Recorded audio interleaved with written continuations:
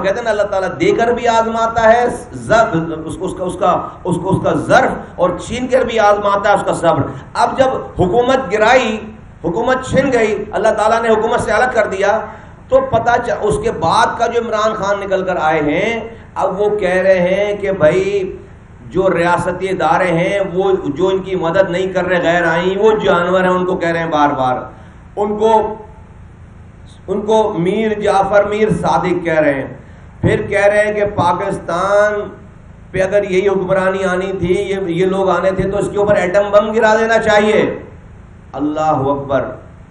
फिर अमेरिका से किसी जायज़ बात पर लड़ते, आफिया सिद्दीकी को ना देने पर, रिहा करने पर लड़ते, कश्मीर में, कश्मीर, इंडिया ने हड़प कर लिया अमेरिका की मर्ज़ी से, इस इस कश्मीर पर इंडियन तसल्लुत छुड़वाने के लिए अमेरिका अगर साथ नहीं दे रहा और इंडिया का साथ दे रहा है, इस पर लड़ाई करते, हम कहते बड़े अमर बिल मारूफ की बात है, बिल्कुल डट जाओ और हम तुम्हारे साथ खड़े हैं। नहीं, अमेरिका से एक एक पर्चा दिखा रहे हैं, लहरा रहे हैं कि ये पर्चा वहाँ पर आया है। सारे सिक्योरिटी इदारों ने, सबने कह दिया कि इस पर्चे में कुछ भी नहीं है। उस पर्चे को दिखाकर अमेरिका को दुश्मन बना रहे हैं। उस पर्चे को दिखाकर बता रहे हैं कि ये, इस पर्चे में जो कुछ है उसकी जो तशरी मैं कर रहा हूँ, यानी कि जो खान साहब कर रहे हैं, उसको सारी कौम मानकर अमेरिका के खिलाफ ऐलान जंग ऐलान जहाज़ शुरू कर दिया जाए।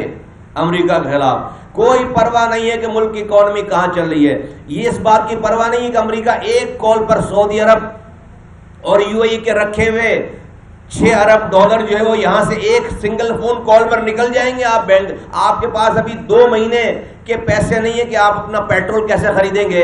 आपके पास रिज़र्व नहीं है। उस मुल्क का सरबरा रहने वाला इंसान अगर उसको अपनी हुक्मरानी से ज़्यादा किसी और अवाम की अगर फ़िक्र होती तो कम से कम वो सोच समझ कर बात करता। बात यहाँ बुजदली की नहीं है। मैं नहीं कह रहा कि अमेरिका से गलत बात पर अमेरिका की गलत बात माननी चाहिए। नहीं माननी चाहिए। कोई मसला नहीं है भूखे मर जाएँगे। लेकिन कोई जायज़ बात तो हो, कोई तुक की बात तो हो, कोई इंसान अपने आप को तो मुतमिन कर सके कि हाँ हम ये जहाज़ मरने जा रहे हैं तो हमारा रास्ता मरने का रास्ता ठीक रास्ता है। नहीं उस लेटर के ऊपर खड़ा कर दिया। तो पता ये चला इस हुकूमत के जाने के बाद, पता ये चला कि भाई, इस आदमी के अंदर एक और क्वालिटी है, और वो क्वालिटी ये है जिसका पता नहीं चलता इस हुकूमत कि भाई, ये ये शख्स, ये ये ये हमारे हमारे खान साहब किसी अहम और किसी सेंसिटिव अहदे के लिए दिमागी तौर पर मिसफिट है। दिमाग, जहनी तौर पर मिसफिट है। ये आदमी अगर किसी मोहल्ले में हो यूनियन काउंसिल का काउंसलर तो ये मोहल्ले में लड़ाई करवा दे कि किसी ने सलाम नहीं किया। बस मोहल्ले में फटा हो गया उसको। इधर इस मोहल्ले का, दोनों मोहल्ले आपस में लड़ रहे हो। इस, ये ये ये इंसान जो है वो न्यूक्लियर स्टेट का स्टेट न्यूक्लियर पावर का हेड का हेड है। उसके पास सात लाख फौजे उसको एक अमेरिका से अगर कॉल नहीं आई है, उसने पूरी अमेरिका को पूरी कौम से भिड़वाने के चक्कर में लग गया है। वो पता चल गया उसके उसके उतरने के बाद कि जहनी कैफियत ऐसी नहीं है कि ये किसी अहम पोस्ट पर रह सके। मैं मैं, मुझे मुझे, हम हम एक, हम तिफले मकतब हैं हम इस सियासत के स्टूडेंट हैं, लेकिन जितना कुछ हम जानते हैं, मैं गारंटी के साथ कहता हूँ कि पाकिस्तान के रियासत की किताबों में लिख दिया गया होगा कि इस टाइप के आदमी से रियासत का हर आदमी दूर रहे। ये मैं बता रहा हूँ, आइंदा आने वाले रियासत की जो कॉलेजेस हैं, जो इदारे हैं, वहाँ पर इस टाइप की कैटेगरी इस तरह के इंसानों के ऊपर कोर्सेस पढ़ाए जाएँगे। बच्चों को पढ़ाया जाएगा कि खबरदार, खतरा लिखा हुआ खबरदार, इस तरह के कैरेक्टर से रियासत चलाने वाले दूर रहें। उसकी बाकायदा कैरेक्टरिस्टिक समझाई जाएगी, बताई जाएगी आने वाले वक्तों में। आप इतने ज़्यादा इतने ज़्यादा आप अगर जो है वो ज़्यादा जैसे कहते हैं कि आप राइट और जो है वो टकरा जाने वाले और और और और आप जो है वो बहुत अमेरिका के खिलाफ बात करने वाले होते तो आप डोनाल्ड ट्रंप के साथ बैठकर अपने, अपनी इसी जंग में अपनी कुर्बानियों का ज़िक्र करके उससे शाबाशी नहीं ले रहे होते। पूरी दुनिया जिसको अंग्रेज़ी समझ आती है, उसको समझ आती है कि आप क्या बोल रहे हैं। आप सारी कुर्बानियों का ज़िक्र कर रहे हैं कि पाकिस्तान आपके साथ इस इस मरहले पे उसने आपके जंग में आपका हिस्सा दिया और आप उससे दाद ले रहे थे। आप जब पाकिस्तान में वापस आते हैं तो कहते हैं वो जंग नाजायज थी। तो आप कहते हैं कि वो अमेरिका के खिलाफ जंग नाजायज थी। अपनी आवाम को कहते हैं जंग नाजायज थी। वहाँ वहाँ डोनाल्ड ट्रंप के साथ बैठकर कहते हैं कि वो जंग जायज़ थी और हमने उस जंग में हिस्सा दिया। और तुम मेरी तारीफ़ करो। यार को, मतलब कोई कोई लिहाज मरवत को ये नहीं कि यार मैं आज क्या कह रहा हूँ कल क्या कह रहा हूँ। फिर उसके बाद भाई पूरे अमेरिका की जंग खत्म हो गई।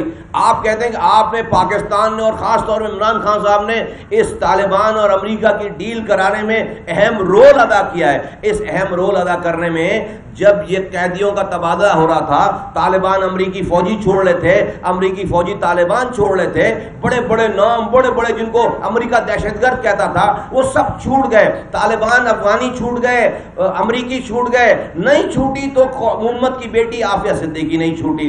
आफिया सिद्दीकी आज भी अमरीका की जेल में बंद है। ये सारे तालिबान से ज़्यादा बड़ी दहशतगर्दी की है उसने। ये सारे अमरीकी फौजियों से ज़्यादा बड़े दहशतगर्द थे वो।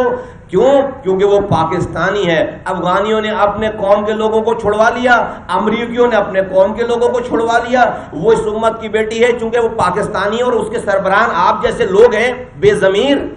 तो आपने उसकी बात नहीं की। वो कराची की बेटी है, वो उम्मत की बेटी है, वो पाकिस्तान की बेटी है। उस उस उस उस बेटी के लिए कोई बात करने के लिए तैयार नहीं है। अफगानी अपने अफगानियों को ले गए। अमरीकी अपने अमरीकियों को ले गए। आप जो है वो अमेरिका के खिलाफ जो है वो झंडे गाड़ते डर रहे हैं। एक आफिया सिद्दीकी की आप बात नहीं कर सकते। मरोगे तो ए हुक्मरानों तुम्हें जवाब देना पड़ेगा। ये आफिया सिद्दीकी हशर के मैदान में खड़े होकर हुजूर सल्लल्लाहु अलैहि वसल्लम की जब तुम शिफात मांग रहे होगे ना तो मैं बता रहा हूँ आज के आसिफ अली जरदारी की बेटी की, की भी बेटियाँ हैं नवाज़ शरीफ साहब की भी बेटियाँ हैं। ख्याल करें कि आज के इस माशरे में हाँ होंगे कोई इज्जतदार बहुत ज़्यादा लेकिन अल्लाह के पास प्रोटोकॉल नहीं चलता।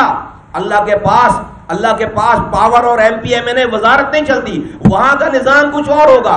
ऐसा ना हो कि इसी आफिया सिद्दीकी के सामने आप आका दो हज़रत मोहम्मद मुस्तफ़ा सल्लल्लाहु अलैहि वसल्लम के आगे शर्मिंदा हो। जब वो, जब रसूल पूछे, हजूर पूछे कि तुम्हारा हुक्मरान हो तुमने हुक्मरानी की है? तुमने इस उम्मत की बेटी के लिए क्या किया? तो सारे धरे के धरे रह जाएँगे। आज मैं मुतालबा करता हूँ कि जनाब बिलावल भुट्टो जरदारी साहब आप वफाकी वफाकी वज़ीर हैं, फॉरेन मिनिस्टर हैं।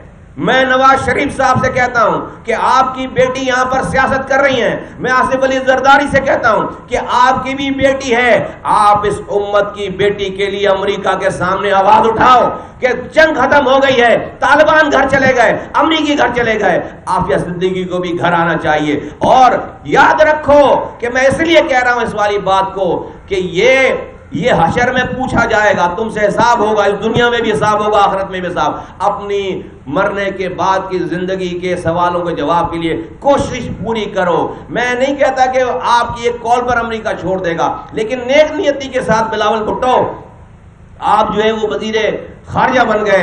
आप इस वन पॉइंट एजेंडे पे ज़रूर बात करें, अमेरिका से बात करें। अल्लाह ताला ने कभी हमें हमें हमें अल्लाह ताला ने इम्तिहान में डाला, हमें अल्लाह ताला ने ताकत दी, हमें अल्लाह ताला ने मैंडेट दिया, हमें इसके ऊपर कोई बैकआउट नहीं करेंगे। बात करेंगे इसी तरह से। कोई, ये है अमर बिल मारूफ। ये है नहीं, अनल मुनकर, इस लाइन पे आओ तो अमर बिल मारूफ है। आप कहते हो, अमरीका ने आपकी हुकूमत खत्म कर दी। अरे भाई, अल्लाह कह रहा है कि मेरी मर्ज़ी के बगैर पत्ता टूट कर नहीं गिरता। अल्लाह की मर्ज़ी के बगैर हुकूमत खत्म हो सकती थी आपकी। अरे अमरीका ने नहीं, अल्लाह ने खत्म की है। अल्लाह अगर नहीं चाहता आपकी हुकूमत खत्म करे एक हज़ार अमरीका जैसी ताकतें मिल जाती, आपकी हुकूमत को कोई एक बाल बराबर भी कोई प्रॉब्लम नहीं आती। आप नाम लेते हो अमर बिल मारूफ का, नाम लेते हो आप रियासत मदीना का, और ईमान आपका अमरीका पे है कि अमरीका हुकूमत का खत्म कर सकता है। क्या बेचता है अमरीका? क्या बेचता है अमरीका अल्लाह? अल्लाह के आगे। अल्लाह कह रहा है कि मेरे हाथ में दुनिया भर की तमाम इकतदार है। मैं जिसको चाहता हूँ इकतदार देता हूँ, जिससे चाहता हूँ इकतदार छीनता हूँ। मेरे हाथ में तमाम दुनिया भर की जो है वो इज़्ज़त इज़्ज़त है। मैं जिसको चाहता हूँ इज़्ज़त देता हूँ, जिसको चाहता हूँ रुसवा कर देता हूँ। आप अमर बिल मारूफ की बात करते हो बरासत मदीना की बात करते हो और कहते हो अमरीका ने हुकूमत खत्म अरे अल्लाह ने हुकूमत तुम्हारी खत्म की है। अल्लाह से बात करो, आज भी झूठ ना बोलो। मैं यकीन करें, खुशी के साथ ये नहीं, हम तो वो लोग हैं जिन्होंने इमरान खान साहब की हुकूमत के उतरने से पहले जब ये एम एमजम जाकर अपने आप को बेच रही थी बाजारी पार्टी बनकर, मैंने इमरान खान की हिमायत में बयान दिया। मैंने इमरान खान के सपोर्ट में बयान दिया। मैंने कहा भाई सारी गलतियाँ कोताहियाँ होंगी लेकिन ये एम क्यों क्या कर रही है कि आखिरी मिनट तक इनके साथ रही और अब जाकर जो है वो ये बेच रही अपने आप को जरदारी साहब के हाथों? हमने कहा ये गलत है अगर हम होते तो हम ऐसा नहीं करते। लेकिन आपने उतरने के हमने आपकी अखलाकी हिमायत का ऐलान किया। हमने कहा कि भाई ये जरदारी साहब और ये एम में सोल्यूशन इनका। हमने अखलाकी हिमायत का ऐलान किया इस, इस वाली बात पे। लेकिन आपने हुकूमत से उतरने के बाद आपने आपने अपने लाने वालों को जानवर कहना शुरू कर दिया। आपने अमेरिका का झूठा खत लहराना शुरू कर दिया। आपने आ, आपने अमर बिल मारूफ पे जलसा करना शुरू कर दिया। अरे भाई जो पीटीआई में आएगा वो अमर बिल मारूफ है। आपने ये बयानिया दे दिया कि सारे पाकिस्तान के लीडरान चोर हैं। उसको देने वाले सारे लोग चोर हैं, रियासती इदारे गद्दार हैं मीर जाफ़र मीर सादिक हैं, जज गद्दार है, मीर जाफ़र मीर सादिक है। जो ये जो ये ये ये जो आपके टीवी वाले सब गद्दार है, मीर जाफ़र मीर सादिक है। तो मैं सोच रहा हूँ कि मैं पाकिस्तान में अब ऐसा ऐसी पार्लियामेंट कहाँ से लाऊं, जहाँ पर इमरान खान की पीटीआई के अलावा एक आदमी भी ना जाए। जो भी एक आदमी जाएगा, वो अमर मारूफ पे नहीं है फिर।